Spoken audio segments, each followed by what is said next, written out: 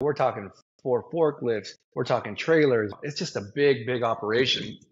Uh, sometimes I wish I stayed in that garage just a little bit longer because you know it was just me and the money was so good because I didn't have rent and I didn't have overheads and I didn't have employees.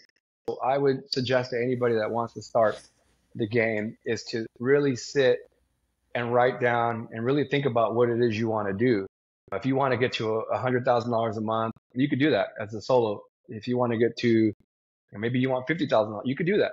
If you want to get to six million a year, seven million a year, you could do that.